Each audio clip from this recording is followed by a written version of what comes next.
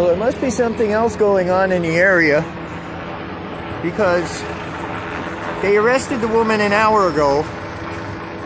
They cleared the crime scene down on 13th and Collins a half hour ago. The street's reopened to traffic now. They're still working in the building, but uh, they've reopened the street. And they've taken all that tape down. The only tape on 13th Street is around the building itself. And yet, the helicopter is still hovering. I wonder why. There must be something else going on. Okay, now he's turning and he's starting to leave, it looks like. Yeah. There he goes. Why he had to sit here for a half hour after everything was cleared is beyond me. But he's leaving now.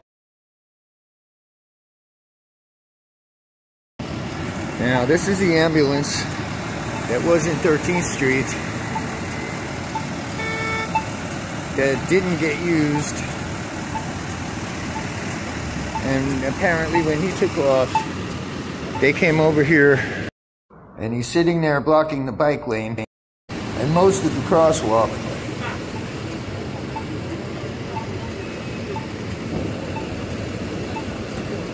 And the fact that he's got the laptop out looks like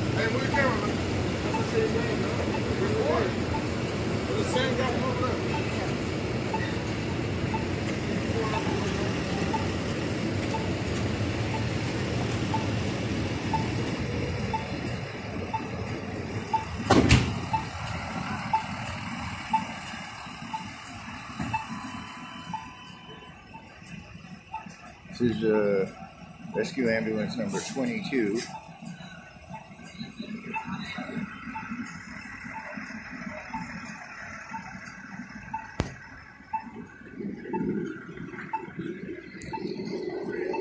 Well, they had the computer, the laptop out. I don't know if he was doing his report sitting down in La Farolada steakhouse here, or whether he uh, actually had a call there and didn't have to transport somebody. I'm guessing they were just doing the paperwork from the from what happened on 13th.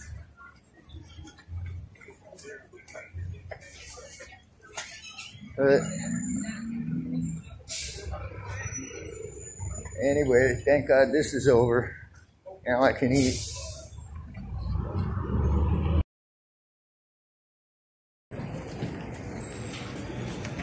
They're not giving me a chance to eat. I sat down and I didn't even start eating yet.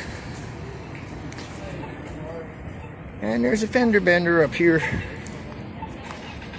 at the corner.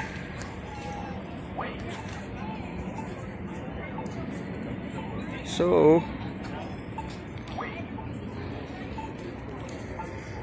well, it's pretty obvious what happened here.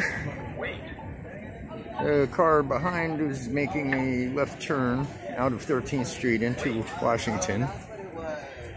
And the car, the red car in the front here, was going straight up Washington.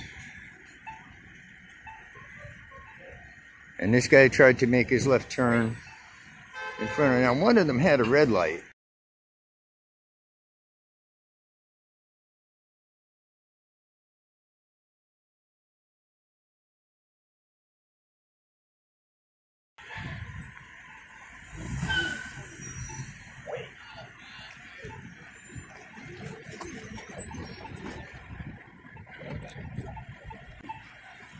Uh, no.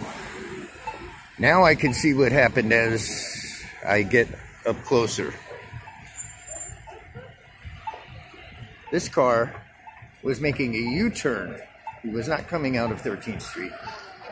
He was making a U-turn on Washington. And this car was northbound. This guy was southbound, tried to U it around and ran into the northbound car.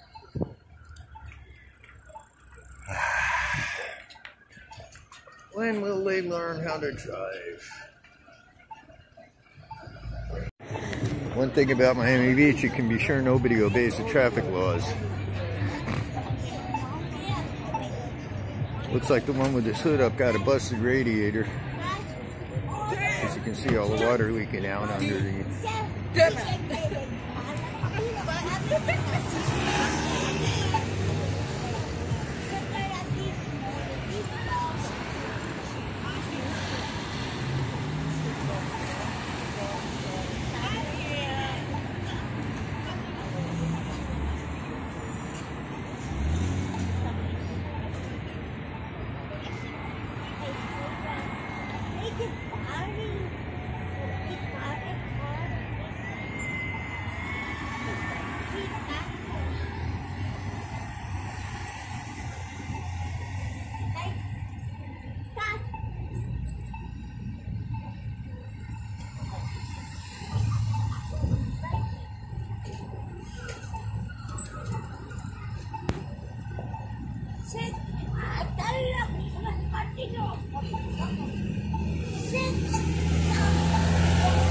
Okay, now I got it from a witness. The light had turned red. Both of them essentially ran red lights. This guy was waiting to make the left turn to make the U. The light went yellow, and when it went red and all the traffic that had entered before it went red had cleared the intersection, he started making his U-turn. The red car was coming north on Washington and went right through the red light like it wasn't even there. And hit him as he was turning. So if the cops come, they'll both get tickets.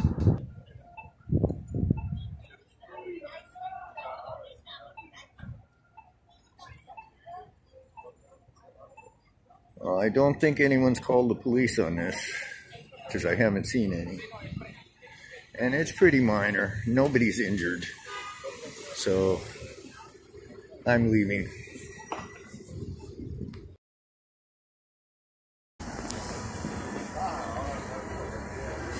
Okay, so I come over here and I don't even sit down to eat it. And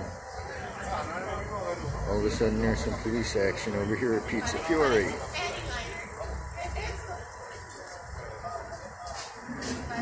Eight officers a multi-agency task force, according to the shirts.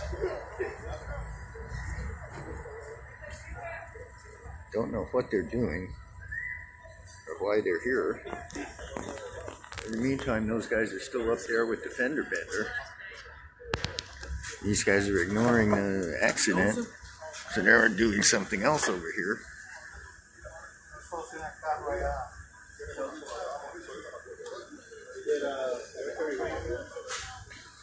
This has been one crazy afternoon.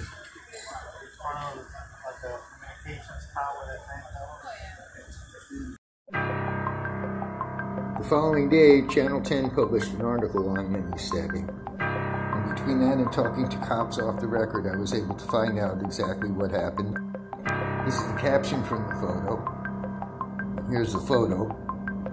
And here's the article itself. Until I saw this article, I didn't realize the victim was a female. I was under the impression it was a male. Nobody had mentioned the sex of the victim at the time.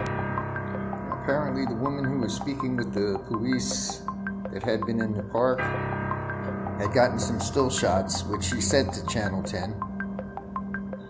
They published one before, one during, and one after the stabbing. And when I saw the photograph, I realized hey, I walked right by that woman just as I approached the crime scene. Apparently, right after she had stashed the scissors, as I was going south on Collins, she passed me going north. The reason the helicopter stayed up there so long was because the police had been told by witnesses that there was another man with Miss Bradley, so they set up a perimeter to try and catch him, thinking he was an accomplice. Then they caught him and he told them that she had been harassing him just like she had been harassing everyone else. will cut you just like. Remember to like, share, and subscribe. This Miami Beach Audits. I'm out. I'll see you on the next one.